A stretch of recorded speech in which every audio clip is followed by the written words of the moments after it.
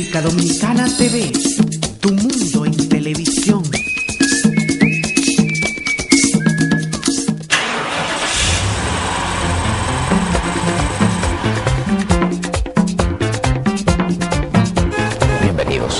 gracias por estar con nosotros una nueva entrega de este su programa Seguridad Fiar al Día. Pedro Morales, siempre a gusto estar con ustedes. Cada semana traemos para ustedes temas de interés relacionados con el mundo del transporte en nuestro país, República Dominicana. Y precisamente esta semana vamos a trabajar en base al tema el tránsito peatonal. Ya para entrar, vamos a ver el contenido de esta semana en su programa Seguridad Vial al Día. Veamos. Observar caminar correctamente por las vías públicas. Si tiene semáforo peatonal te indica cuando debes cruzar. El peatón hay que darle preferencia.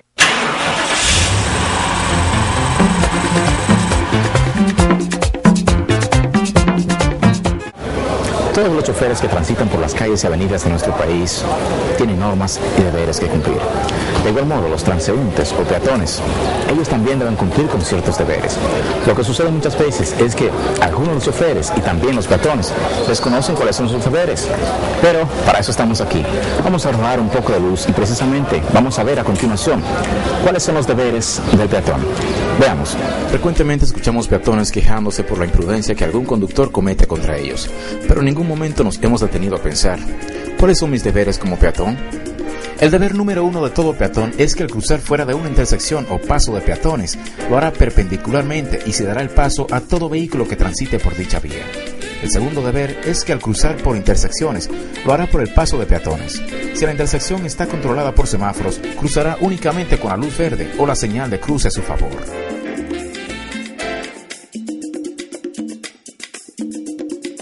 No te debes lanzar nunca un carro en el medio, no debes pretender ponerte en la calle y que el carro frene si él está en su derecho. Más bien tienes que tener cuidado porque es bien incómodo el, el momento que puedes pasar si te choca. Otro deber de todo peatón es que cuando un agente de la policía dirige el tránsito en los cruces de las vías públicas, deberá respetar sus señales y no cruzar las calles hasta que la gente lo permita.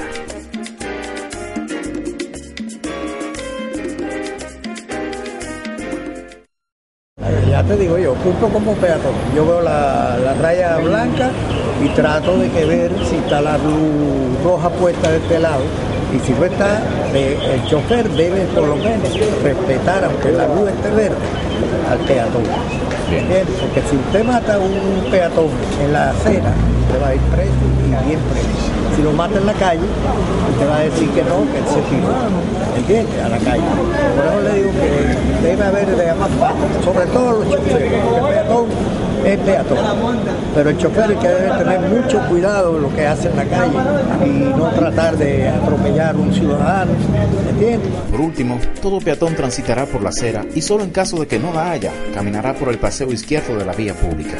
En caso de vehículos de emergencias, cuando estos anuncien sus pasos con alarmas, los peatones deben ceder el paso. Frecuentemente escuchamos en los medios de comunicación noticias de choferes que abusan de su condición y ejecutando la ley de más grande sobre más pequeño, atropellan y violan los derechos que tienen los, los peatones de usar las calles y aceras. Vimos el reportaje sobre los deberes que tienen los peatones. Ahora veremos un video sobre los deberes que tienen los conductores hacia los transeúntes. A continuación. Así como el peatón tiene deberes y normas con respecto al tránsito, los conductores tienen deberes que cumplir hacia el peatón. El primero de ellos es que toda persona que conduzca un vehículo por las vías públicas tiene el deber de ceder el paso a toda persona que en el uso de sus derechos esté cruzando una vía pública por un paso de peatones. El segundo deber de todo conductor es que no debe rebasarle a otro vehículo que se encuentre detenido o haya reducido su velocidad para cederle el paso a algún peatón. Claro, el, el peatón hay que darle preferencia, porque tiene todo el derecho de, de andar en la vía. Por eso los choferes, yo siempre le doy preferencia. El último deber que todo conductor debe tomar en cuenta es el de tomar todas las precauciones para no atropellar al peatón. Aun cuando éste cometa imprudencias en las vías públicas, es responsabilidad del conductor proteger la vida del peatón. Hemos visto reacciones de los conductores y peatones de nuestras calles, pero cabe preguntarse, ¿conoce nuestra gente el significado de las diferentes señalizaciones del peatón? Continuamente la sociedad demanda de información vial, y dentro de esas informaciones están las señalizaciones de tránsito que corresponden al peatón, pero que muchas veces pasan desapercibidas o sencillamente no la conocemos. Dentro de estas señalizaciones están las de doble circulación. Ellas advierten la proximidad de un tramo de camino con circulación en ambos sentidos. Peatones a la izquierda. Se ponen principalmente en áreas rurales para indicar que los peatones deberán transitar por su izquierda de frente a los vehículos que se aproximan. Una vía. Esta le indica al conductor el sentido de la circulación en una determinada vía. Doble vía. Indica al conductor el cambio de una vía de uno a dos sentidos de circulación. Doble derecha solamente. Indica a los conductores que el único sentido de desplazamiento será de un giro a la derecha. Doble izquierda solamente que indica a los conductores que el único sentido de desplazamiento será de un giro a la izquierda.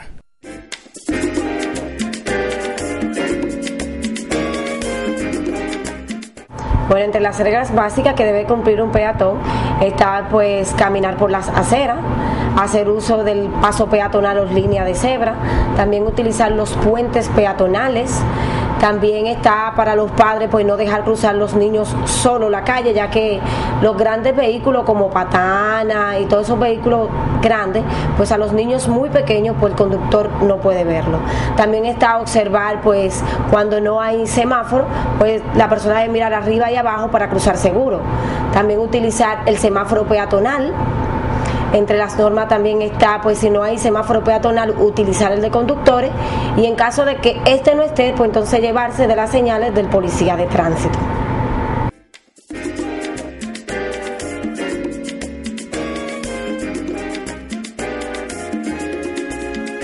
Mira, las consecuencias legales están registradas en la ley 241 en su artículo 180.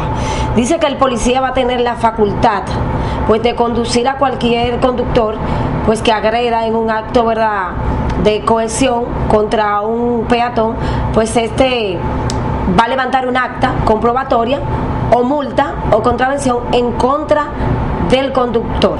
Entonces ahí se levanta en el acta y ya entonces el juez o magistrado pues dictará la sentencia que conllevará esto.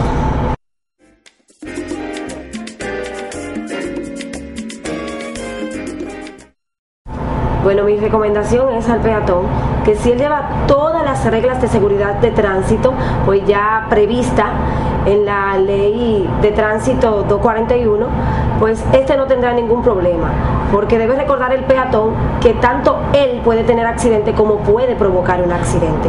Si sigue correctamente todas las reglas de tránsito, pues no tendrá ningún problema, observando cada una sin dejar atrás nada.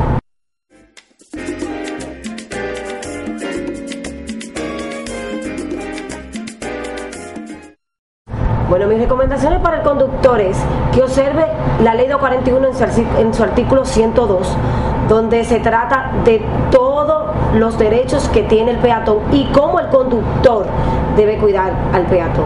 Y eso se basa también en el mandamiento que dice amar al prójimo como a ti mismo.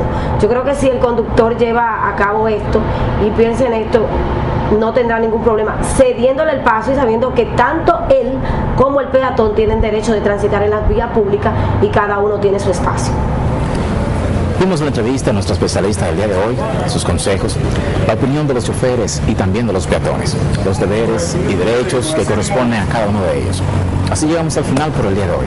Les espero en otra próxima entrega de Seguridad Vial al Día, aquí en República Dominicana TV, Tu Mundo en Televisión. Pedro Morales les dice bye bye.